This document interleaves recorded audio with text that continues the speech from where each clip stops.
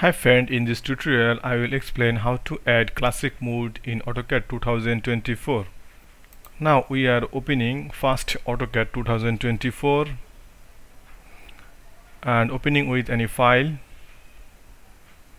Now we are see this interface, it will be AutoCAD drafting and 3D annotation. Now we are see this file now we are go to right side corner workspace setting. There is AutoCAD classic mode was absent. Now we are go to our AutoCAD customize file and this file extract here. And we see this file our.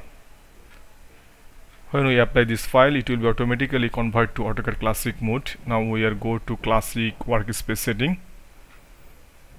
Customize and go to transfer and right side corner file open customize file. Now we are select our file and we'll see this AutoCAD classic mode right side and track to left side and apply OK. Now we are again go to AutoCAD workspace setting and classic mode select this. Now we are see this automatically classic mode